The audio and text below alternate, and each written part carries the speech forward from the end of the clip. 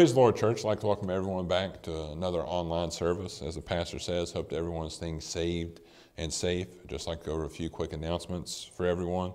Remember, if you have any prayer requests, names added to the prayer list, or any praise reports, please send those to cljcrequests at gmail.com.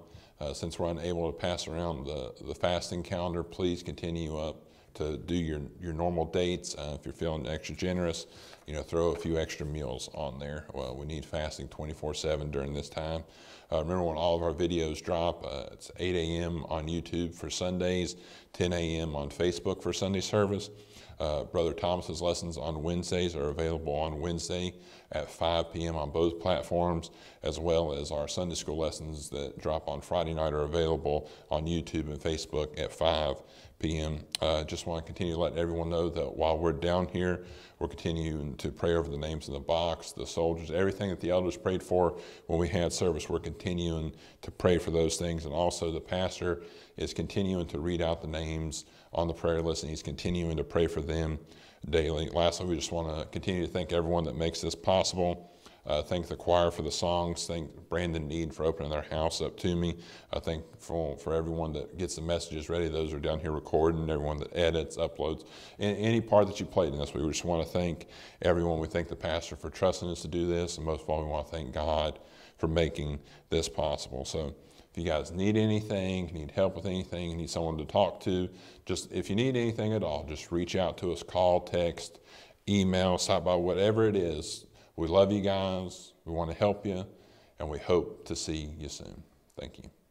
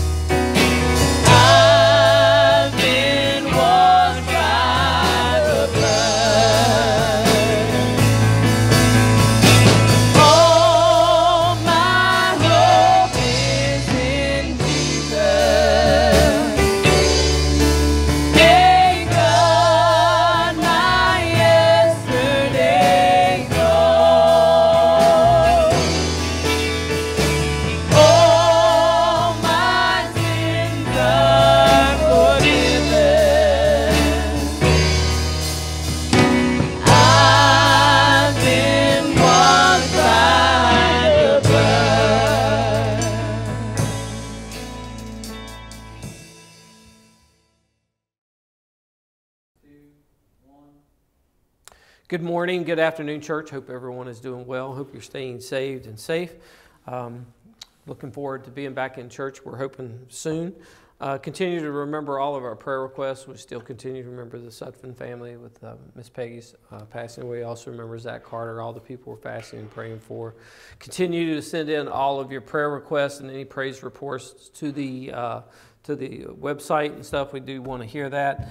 Um, and again, just continue to remember the pastor, continue to remember all the people in the church. Just try to stay connected as much as possible. Again, hopefully soon we'll be hearing something positive about getting ready to get back in the, into the church. I want to continue today with our lessons on the great mercy of God. This morning's uh, lesson is on clinging to righteousness. The focus thought is we must cling to righteousness no matter the evil influence around us. The focus verse is Revelations 2 and 13.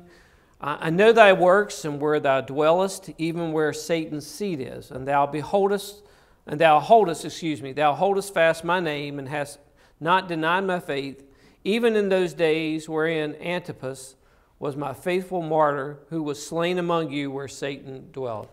And then the lesson text is Revelations 2 12 through 17.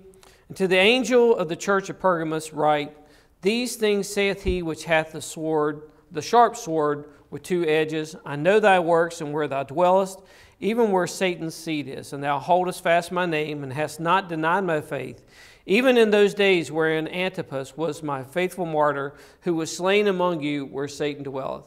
But I have a few things against thee, because thou hast there them that hold the doctrine of Balaam, which taught Balak to cast a stumbling block before the children of Israel to eat things sacrificed unto idols, and to commit fornication. So hast thou also them that hold the doctrine of the Nicolaitans, which thing I hate. Repent, or else I will come unto thee quickly, and will fight against them with the sword of my mouth. He that hath an ear, let him hear what the Spirit hath said to the churches. To him that overcometh will I give to eat of the hidden manna, and will give him a white stone, and in the stone a new name, new name written which no man knoweth, saying, saving he that receiveth. Let's pray. Lord, we thank you today for all your mercy. God, we thank you for your grace. God, thank you for the Holy Ghost. God, repentance and baptism in your name. Thank you for the doctor, Lord. We appreciate you and thank you so much for all that you've done, for always watching and keeping us and guiding us, Lord, and just keeping us, Lord, just as, as Jonathan had, had preached about there on Sunday, Lord. There's just there, there's weight, there's more. There's so many things that you've done for us, God, and we appreciate you. God, provision, all the things, God, we thank you and glorify you, Lord. Just remember this message. God, bless my voice. God, ask you, Lord Jesus, God, let all the words be yours and not mine. Let it be from your heart, and not my heart, from your mind and not my mind, God. God, I ask you to bless the recording, to bless all this, God. I ask you, Lord, to just watch over and let it bless the church as they watch it, God. Bless the people, strengthen, encourage, Lord Jesus, God. Bless uh, this virus, God. Just keep us safe and protected from it, and bless our doctors and nurses and all those that are around it. God, ask you to move on our governor, God, and limit some of these restrictions so we can get back in uh, pretty quick here, Lord. And we appreciate you and thank you for it, Lord, in Jesus' name.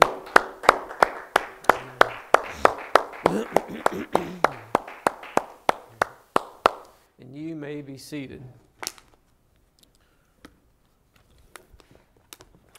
This morning's lesson is again about one of the seven churches of Asia that were mentioned in Revelation. And uh, today's lesson is on the church of Pergamos.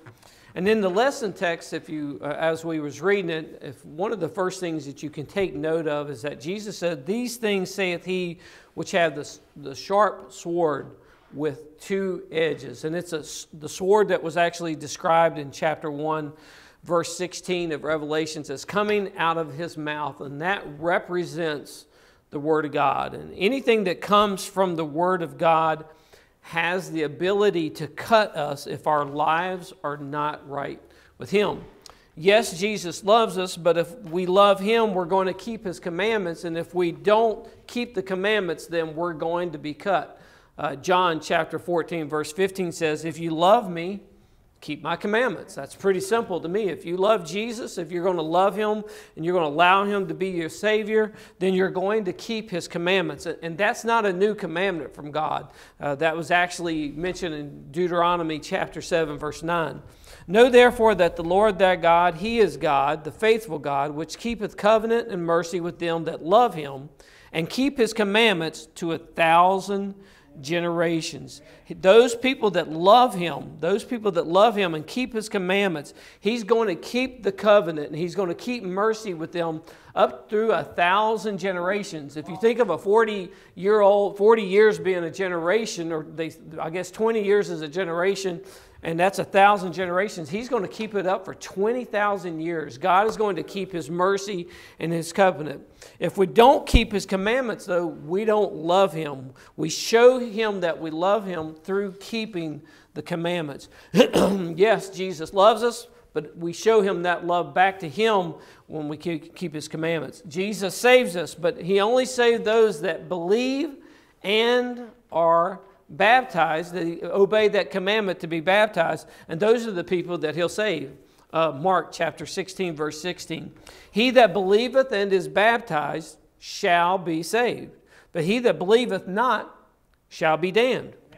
And there's a lot of people out there that'll tell you and talk about baptism, and they'll talk about, you know, they'll believe in baptism, but when it comes right down to it, they don't necessarily believe that it is necessary. They think it's a, it's a good thing to have, but it's not necessary for salvation. And my thinking is, is those people evidently have never read these words that are actually in red that came from Jesus. He that believeth and is baptized will be saved. And if you don't believe you need to be baptized, then you aren't. You're not going to get baptized, and then you're going to be damned.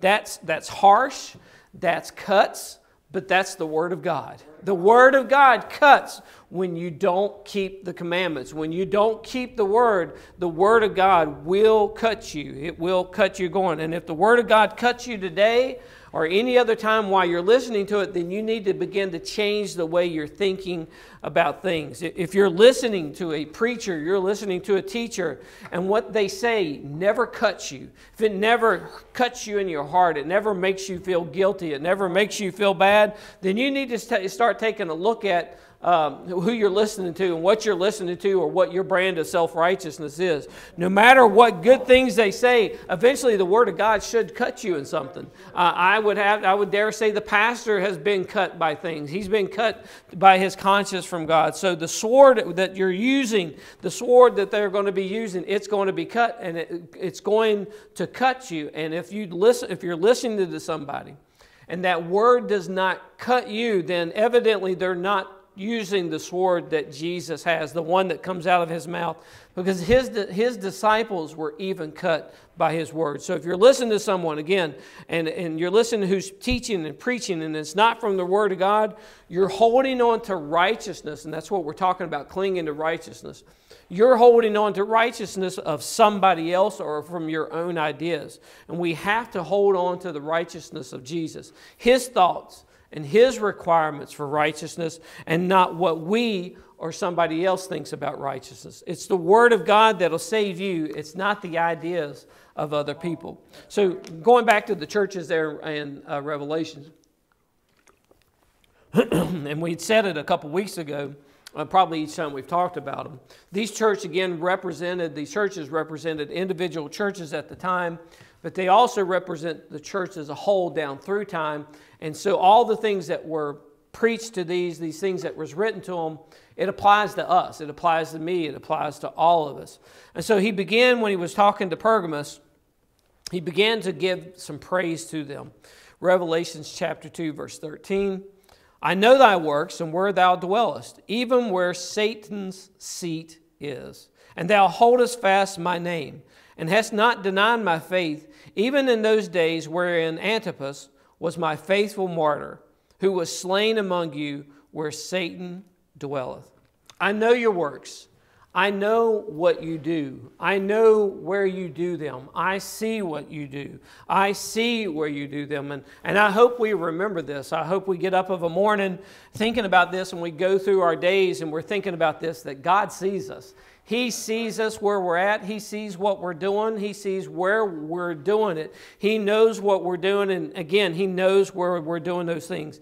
His eyes are always upon us. Whatever state we're in, He's watching. Whatever it is that we are doing, He's watching. You're, uh, he said, you're, you're doing your work. He's talking to the church there, and He said, You're doing your work where Satan's seated. You're, you're holding fast to my name. You've not denied my faith. Even when one of your members were killed for what you believed in, even though they were killed for my name, you continued to hold on to that name. It didn't bother you. You, you didn't allow that to scare you, that you kept on keeping on. And that's a good thing. That's a good thing. And Jesus had taken note of it. He had seen what they'd done, and, and Jesus made a point to point it out. They had done their work for the Lord right in the middle of where Satan was. They were able to stay faithful and hold on to the name of the Lord and hold on to the faith right in the middle of a city that was full of sin. And it's important to take notice of the things that people accomplish for God. It's important to take note of those things when people accomplish something for God. And it's important also to take notice of where they accomplish it.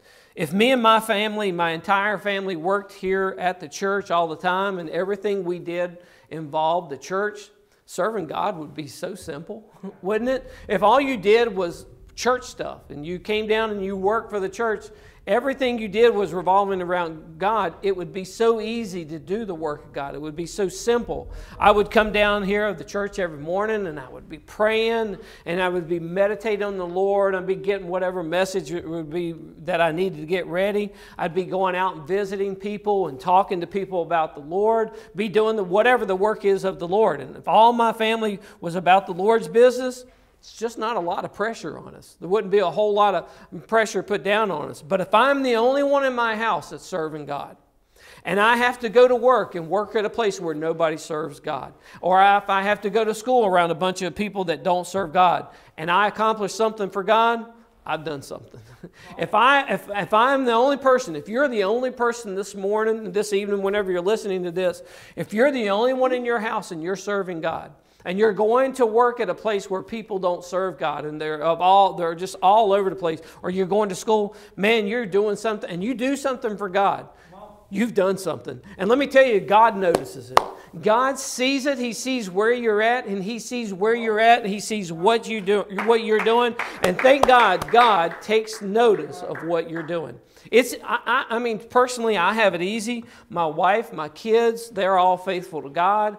Uh, I'm working from home still right now, and even when I'm at work, most of the people that, a lot of the people I work with, they're Christians or they're good people. It's easy for me to serve God. I'm not around a bunch of just nastiness, if you just want to say worldliness. But you know who you are this morning. You, you, you people that are on your own sometimes, you know who you are. You know that you don't have it easy. And people like me at the church, we should know who you are. We know who you are too, and we should be praying for you and urging you on. But even more important, God knows who you are. Even more important, God knows who you are, and He's in your corner and He's on your side, and He's saying, I know your works. I've seen what you're doing. I'm watching you every day. I see what you have to put up with. I, I see the things that you that you're on your own when you're at home, and you're on your own when you're at school, and you're on your own when you're at work. And it's a tough place. And, and but I see what you're doing. But he says, don't be weary in well doing. Don't be weary in well doing because you're going to reap if you don't faint. If you just keep on keeping on, God knows. He sees what you're doing and He recognizes where you're doing it. They held on, Pergamos held on to the name. If you're holding on to the name and you're holding on, you're not denying His faith, that you're still doing the work of God and you're all on your own. You're doing it there at Satan's seat. God notices it, He takes notice of it, and He'll, he'll, he'll, he'll bless you for it. Pergamos held on to the name. And when everyone else around them was falling away from the name of Jesus, they were holding on to it. They believed the preaching of the apostles. Acts chapter 14, uh, chapter 4, verse 2, excuse me. Neither is there salvation in any other, for there is none other name under heaven given among men whereby we must be saved. God gave Israel the name of Jehovah, but Pergamos knew his name as Jesus, and they held on to that. Church, Hold on to the name of Jesus. Grab a hold of it. Don't let go of it. Hold on to that name. There's no other name that you can get in this world. Buddha, none of these other things will save you, but the name of Jesus, the name of Jesus will save, will save you. The world will tell you that God has many names and he goes by a lot of titles. He may go by Father, Son. No, he only goes by one name. If you need to be baptized in the name, it's got to be one. There's only one name to be baptized in, and that is that name. Jesus. There's only Jesus. There's only one name given among men that we have whereby we have to be saved. That only name is in Jesus.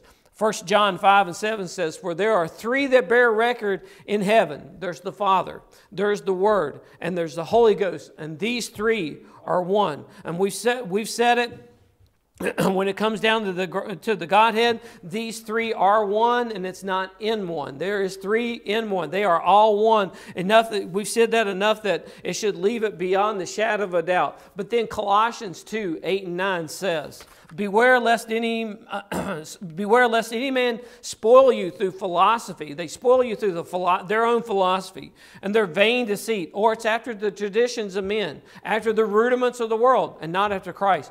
For in him, talking about Christ, dwelleth the fullness of the Godhead bodily. All those three, they are one and they were in one, and that's Jesus Christ. That means the Father, the Son, and the Holy Ghost are one and they were in one. When the whole Godhead dwelt inside of Jesus, it was all in Him. The fullness, we talked about it, every salvation, everything rolls up into Him, and you can't let it go. You can't, you can't deny it. You can't, you gotta, you gotta grab a hold of it. Don't let it, don't be spoiled by the traditions of men. Don't, don't be held captive. Don't let it steal your salvations. Don't vain deceit. The traditions of man may say this, you know, this is okay and that's okay. It's not, you know, it's okay to go down in the water in this way and it's okay to pray this way. No, there's only one name. Only one name. There's only one, folks, and let's get that right. One.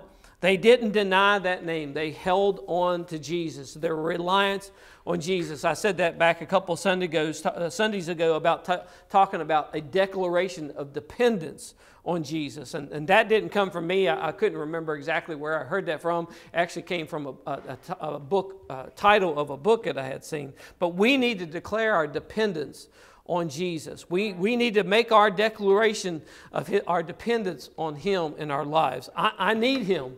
I need His peace. I, need His joy. I need His healing. I need His name for salvation. I need His Spirit alive, living inside of me. Even when they said, even when someone was killed in the church for your faith, you Pergamos, you, you held on to that. Even if someone uh, loses their life in the church, we got to keep pushing on. I, I, sometimes wonder how committed people are to God and how committed they are to Jesus. And, and if something did happen and, and things did get get tough and we don't know where it's going to go. We don't know how long it's going to be before we start getting into some of the things that's talked about in Revelations. But it could happen any day now. It could happen next week, next month, next year. There could be a, a, a, a turning of the minds into the spirit. But, and, but something happens and the person that sits next to you at church or whatever, they lose their life because of the name of Jesus. You got to keep, you got to cling to it. You got to keep holding on. You got to keep pushing on. He said, Pergamos, you kept on even when there was a martyr. Pergamos was a center of emperor worship, worship, worship, worship. And I think Jonathan had said that last Friday for the, the was talking about that in the Sunday school lesson. And so the Christians there were persecuted for not following uh, or following and worshiping like everybody else. People that were Christians were deemed uh, to, to, to, for being disloyal because they had worshiped God, they had worshiped Christ, and so they were thought of being disloyal or they were unpatriotic. they were not patriotic for, for worshiping. But before being a patriot, I'm a Christian. Before I know everybody, I'm a, you know, you hear these people that the patriot is that word, is a big word right today.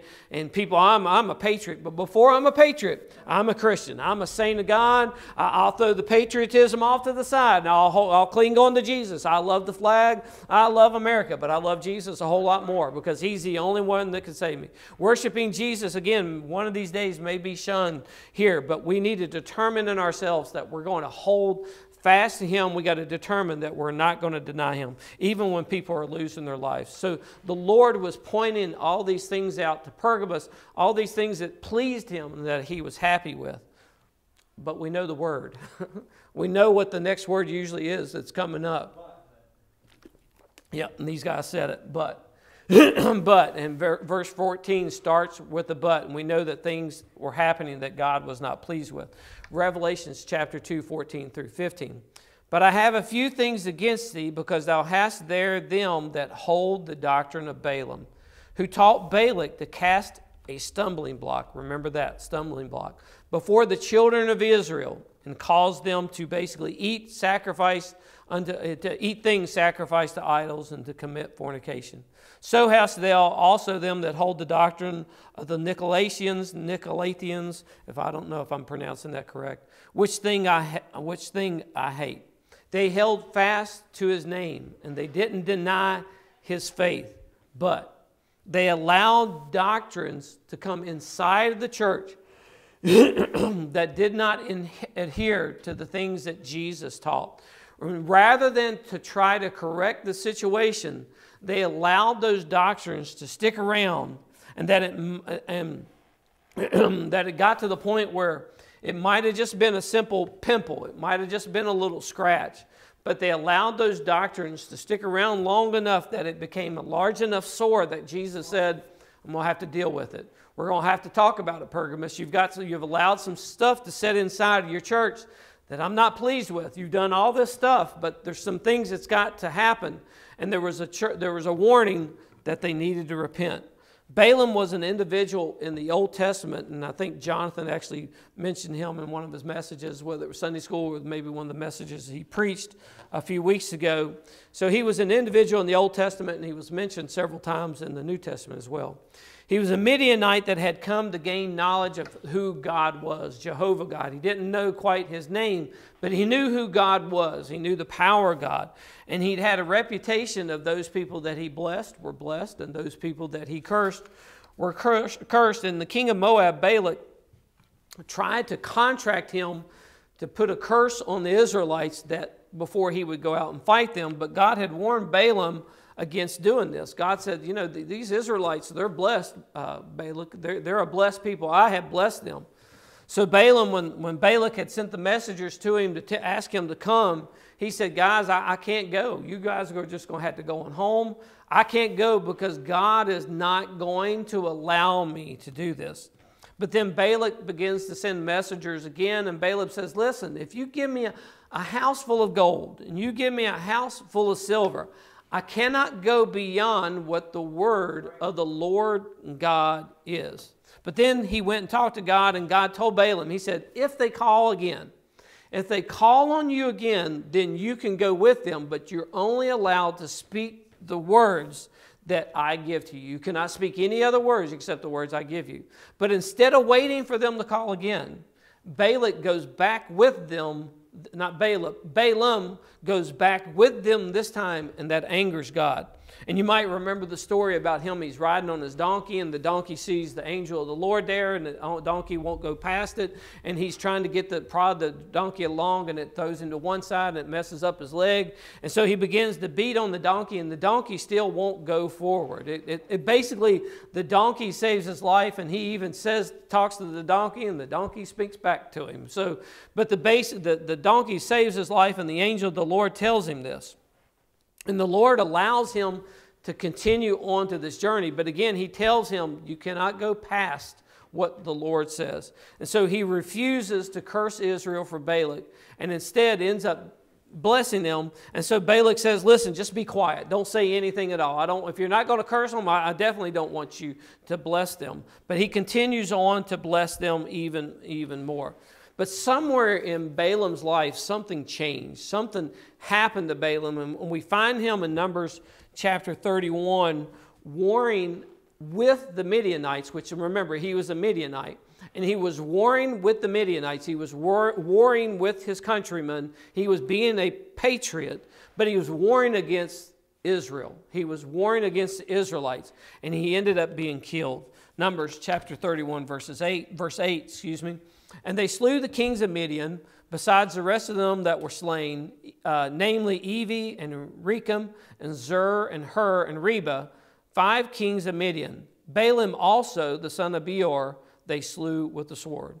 So here was Balaam. He, he was not in he was not the, uh, one of the children of God, but he knew who God was. He was a man of God. He was he talked to God. He had connections with God. He was a Midianite, but somehow or another he had gotten connection connected with God and he was speaking with God. But what in the world could happen here all of a sudden where he's God had told him Israel is blessed. You uh, I'm going to bless them. You can't curse them.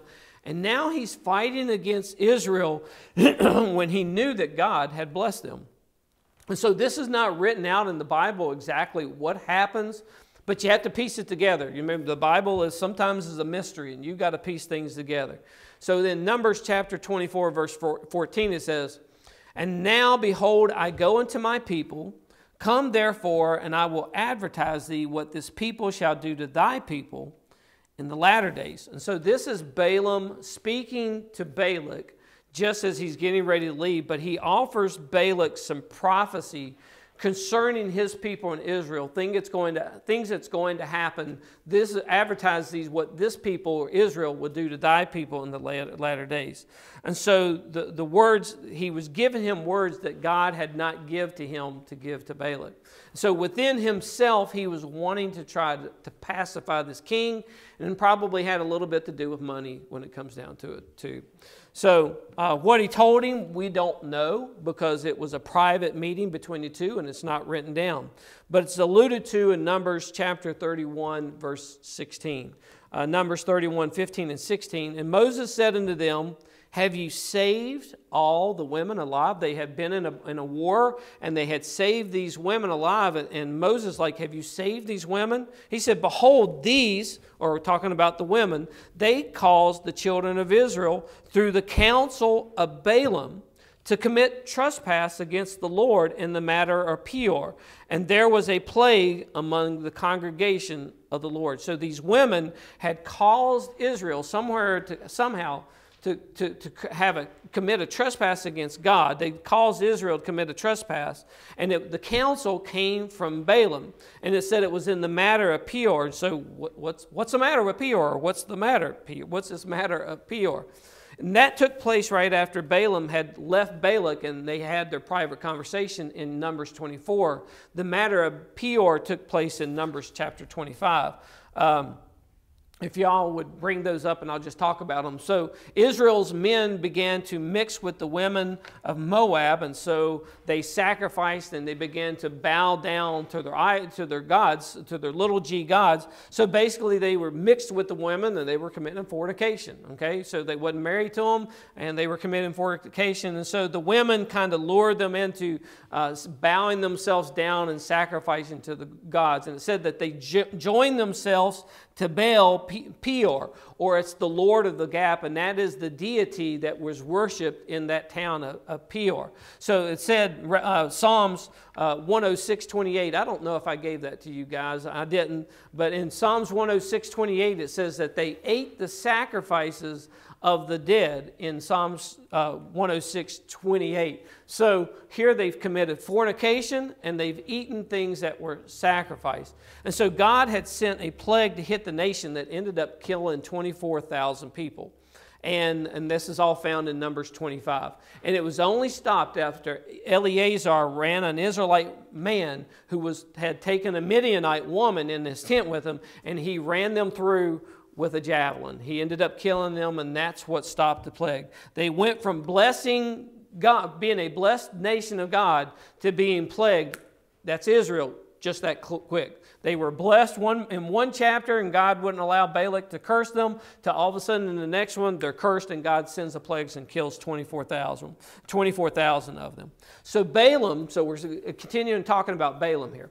So Balaam had evidently told Balak more than some future about his country. He had let them, he had let them in on a secret strategy of how to get the Israelites to lose favor with God. He said, Behold, Moses said, Behold, these, talking about those women they had allowed to live after the battle, he said, These women caused the children of Israel through the counsel of Balaam to commit trespass against the Lord. In other words, send your women down there.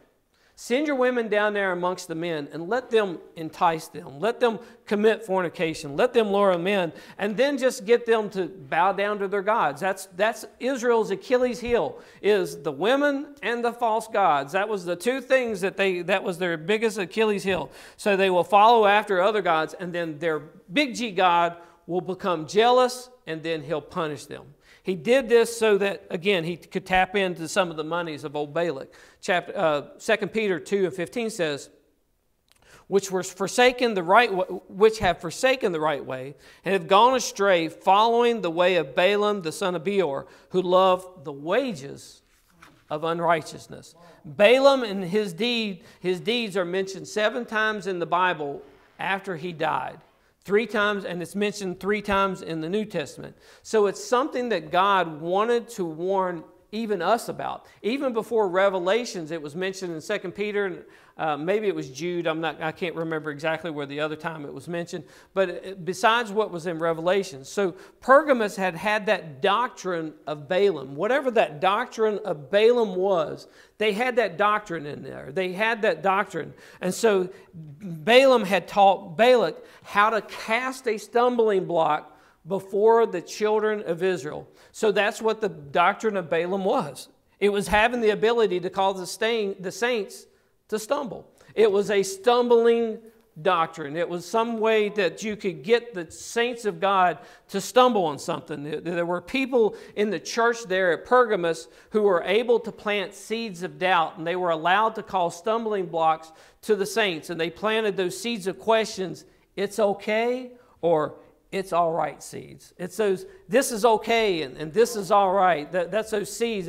This is okay and oh, go, go, ahead and it's okay to make this shorter and it's okay to make that longer and it's okay to, to watch this and it's okay to, to drink that and it, it's okay to partake in this because God, God don't care because God's full of mercy. God's full of grace. It's, it's, don't worry about it. It's something small. It's something very little. It's, it's not a big deal in the grand scheme of, uh, of salvation. This was the doctrine of Balaam, is that he was causing people to stumble. They could call, there was people in the church there, per, Pergamos, that were uh, spouting out these little seeds to other saints, and it was causing, causing them to stumble.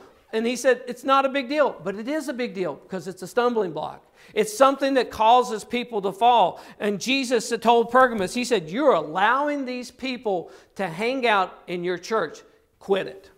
I am not, you've, you've not you've, you've held fast to my name. You've done, you've done work in, the, in Satan's seat. You were able to accomplish things for me in the middle of a city that, that, that was Satan. I mean, you were doing works for me. You've held on fast to my name. You're doing these things, but you've allowed these people to be in, in the church that are throwing stumbling blocks. I want you to quit. That, that was enough to almost negate, because it was the word but, it negated those things that God had praised them for because you have allowed this stuff to go on. A stumbling block doesn't have to be an 8 by 8 timber, it can be a little piece of bark that's off of a tree because if you're not on a rock solid foundation, if your not feet's not gripping a rock solid foundation, you come across something just the slightest little bit that's a stumbling block, you're headed for a fall. You're headed for a hard fall, and you may be hard enough to cause a plague, just like what happened to Israel in your life. Those questions cause a falling away from the righteousness of God and have you leaning on to your own ideas of righteousness or what somebody else's ideas of righteousness is. Oh, I can live by my rules. I, can, I don't need the righteousness of God. I, I have my own brand of salvation. I, I've got a generic, the generic salvation, the, the generic is, the brand of salvation is, is just as good as the name brand salvation, isn't it, Brother Jonathan? Generic is just as, that don't work in Froot Loops, okay? I don't like generic Froot Loops. I, I want the real thing. When I go get cereal, I want the real thing. I want real Froot Loops. I want real Frosted Flakes. I want real Mini Wheats. That doesn't work in fruit. The generic is not as good as the brand. It don't work in cereal, and it definitely doesn't work in the righteousness and the doctrine of God. I don't want generic salvation salvation. I don't want generic righteousness. I don't want generic doctrine. I want the real thing. I want the one that's got the brand name on it. I want the one that's got Jesus Christ on it. And we've said many times righteousness is what? Being right with God. That's all it is. It's very simple. Righteousness is just being right in God. It's living and walking by the commandments of God. And he said, Remember, if you love me, you'll do what? You'll, commit my, you'll keep my commandments and you won't keep your own. You won't keep your own ideas. And when you move towards things are right in your eyes or are right in somebody else's eyes and not in God's eyes, then you're moving away from God's ideas of salvation and you're moving toward that generic brand of salvation. Romans chapter 10, 1 through 3 said this Brethren, my heart's desire and prayer for Israel, for God, to, my prayer to God for Israel is this, that they might be saved, because right now they're not. Israel's not saved. For I bear them record. They got a zeal. They got a zeal toward God, but it's not according to knowledge. He said, For they are ignorant of God's righteousness and going about to establish their own righteousness. Have, having not, have not, doing all this, they, they've been ignorant of God's righteousness, and they're going about establishing their own set of righteousness. And in doing that, they have not submitted themselves to the righteousness of God. They failed they failed to submit to the righteousness of God through loving Him and keeping His commandments. They instead arrogantly, and when you self, uh, let's just get let's get down to the heart of the whole thing. Self righteousness is arrogance. You think that what I think is better than what God thinks. You think that the way I think I should live is better than what the pastor preaches. You think the way I want. it, I'm arrogant enough to think that I'm above God. I am arrogant enough that, and let, go back and read Numbers 25. I didn't bring it out. Go back and when I talked about that, that Israelite man and that Midianite woman that, that Eleazar ran through the javelin, I didn't read it, but when he brought that woman in, the Bible said that he brought her out in front of Moses and walked into his tent. He was arrogant enough that he, he knew he wasn't supposed to be doing this, but here's an Israelite man taking a Midianite woman and takes her into the tent, and bam, here comes the plague. And Eleazar, to get rid of it, stick, throws the ja- puts the javelin through him and her at the same time. So imagine what they were doing, okay? And that's the arrogance. That guy was so arrogant that he hears the man of God, and right in front of the man of God, I'll just take sin and take her right into my tent. That's what I'm going to do. And when you're so arrogant in your self righteousness that you think I'm above the laws of God, I'm above the preaching of the pastors. As long as it's in the Word of God, folks, and the pastor's preaching it, we got to stick to it. And when you think that I don't have to do this, I can do whatever I want, dress any way I want, uh, talk any way I want, watch whatever I want, you're arrogant, and God hates arrogance. God hate, and that's what self righteousness is. It is arrogance. It's you saying, My ways are above God's ways. My ideas of salvation are above God's ideas of salvation. Paul said, I don't want any part of that stuff. He said, I'd rather suffer. I'd much rather suffer and win the mercy and the grace of Jesus. Philippians 3 8 through 10 says, Yea, doubtless, I count all things but loss for the excellency of the knowledge of Christ Jesus my Lord, for whom I have suffered the loss. I've suffered the loss of all these things, and I count them all as dung, that I might win Christ and be found in him, not having my own righteousness, which is of the law. He said, But that which is through faith of Christ, the righteousness which is of God by faith, that I may know him and the power of his resurrection, and the fellowship of his sufferings being made conformable in his death. He said, when I walk in my own righteousness, I'm walking in the law. And then I am bound by all the things that are under the law. And let me tell you what the law does not contain mercy and grace.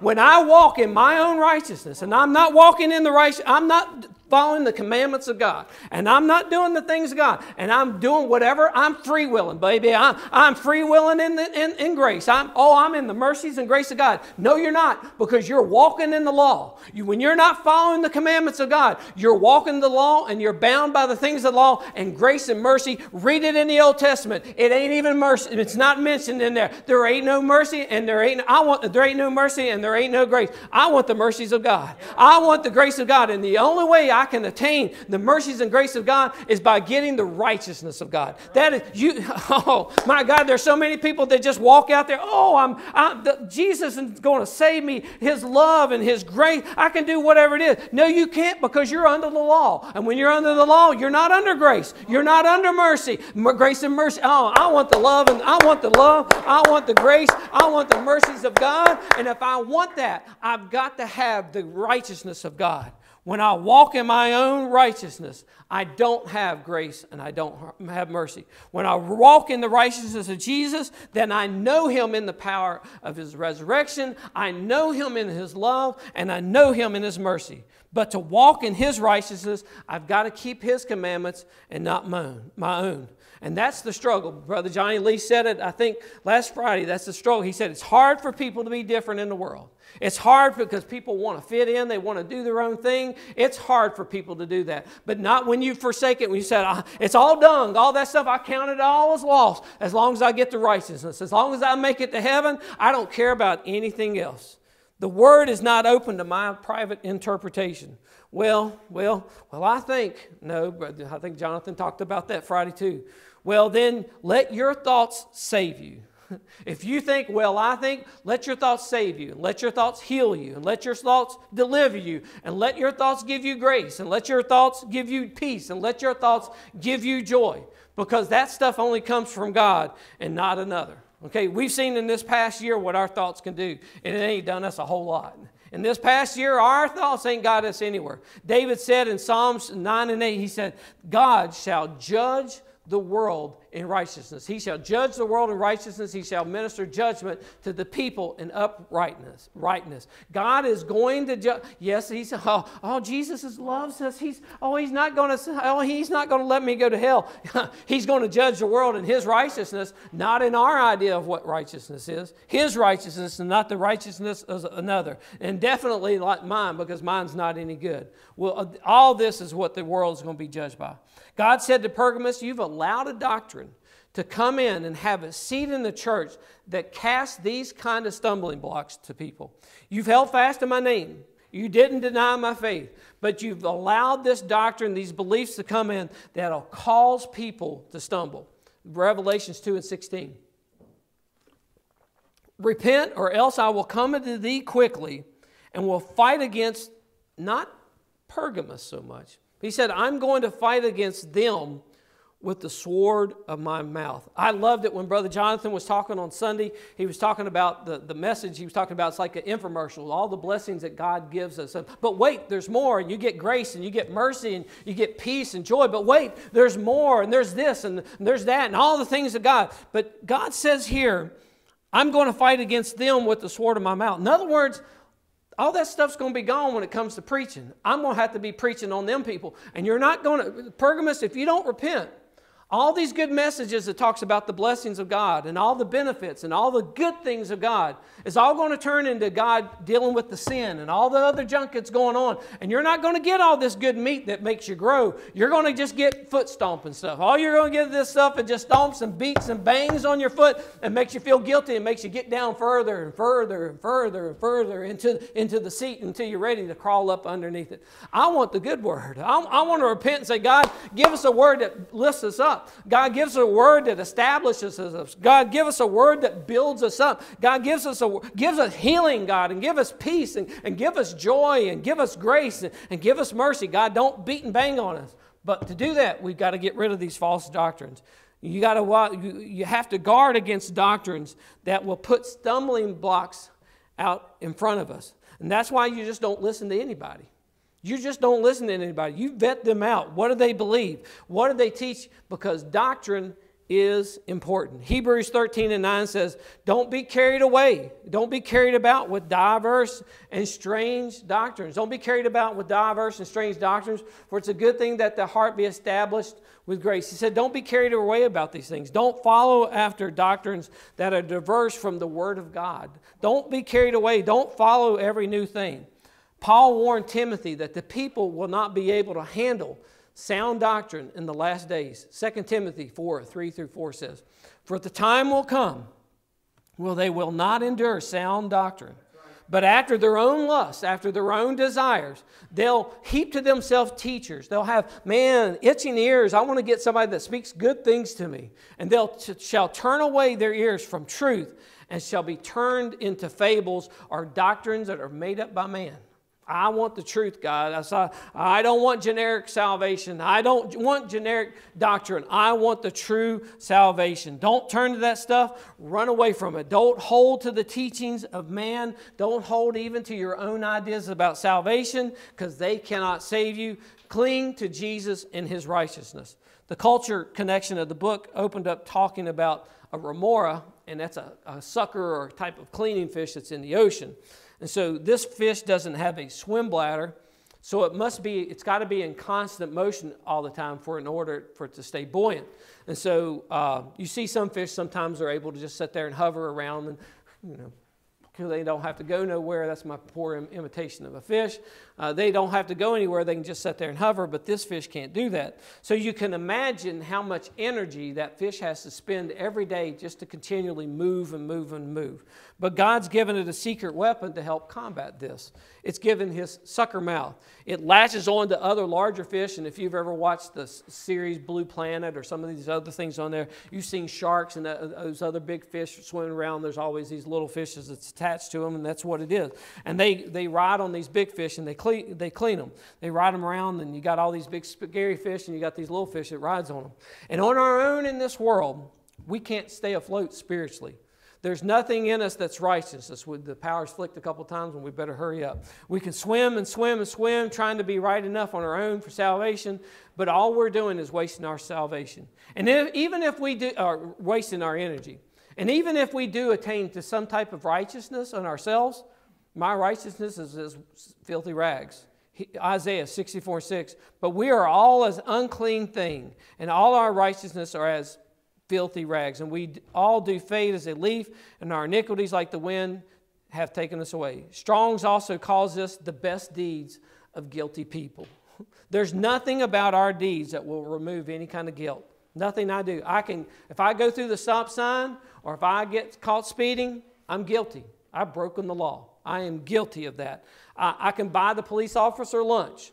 I can go buy a homeless person a lunch. I can work at a soup kitchen and feed everybody there, but it's still not going to remove my guilt. May get people to overlook it, but I'm still guilty. But there's one thing that we can cling to in this world, one thing that, can, that we can hold on to, one person whose righteousness we can hold on to that has the ability to clean us. And it's the opposite of that remora. He has the ability to wash us and make us whole and to give us that righteousness, and that's Jesus.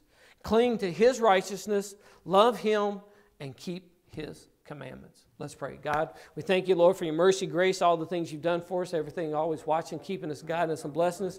Lord, we thank you, Jesus, God, for your righteousness that we can cling on to, God, that can give us salvation, Lord. Your righteousness and not our righteousness. Your idea of righteousness and not our ideas. God, it's a brand name, God. It's got the name of Jesus stamped on it for approval, God. Let us cling onto your righteousness. God, let us cling onto you, God, to your doctrine, the doctrine of Jesus Christ, God, of repentance and baptism in the name and the infilling of the Holy Ghost and walking before you a, a clean, lifted up life, God. We praise you, God. We thank you, Lord Jesus, God. Go with the church, God. Strengthen us, Lord. And if we got any of those people that are out there casting stumbling blocks, let us either let them repent and change or let us get rid of them, Lord. Or you move them out. You take care of them, Lord. God, go with us this week and bless us, God. We thank you and praise you and give you glory in Jesus' name. Thank you, Jesus. Thank you, Jesus. Thank you, Jesus. Church, we love you. It's Easter weekend. Hope you have a, a, good Easter. Keep your mind on what Easter is all about the resurrection of Jesus Christ. And looking forward to hear from the pastor on Sunday. Have a great day.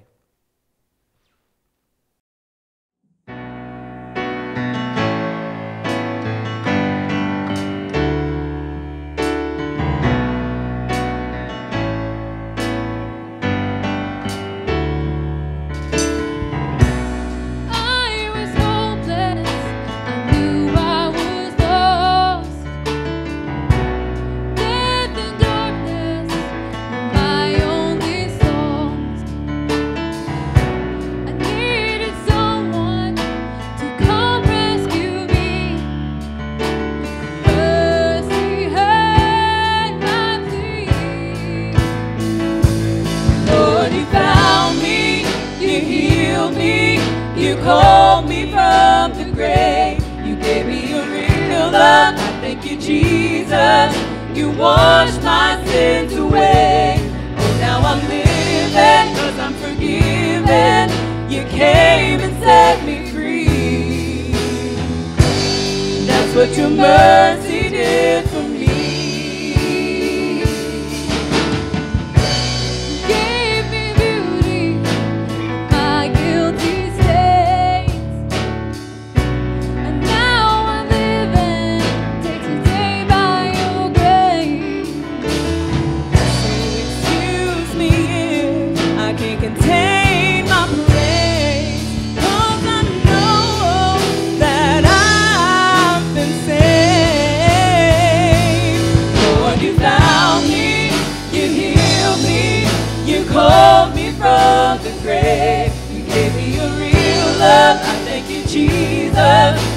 wash my sins away.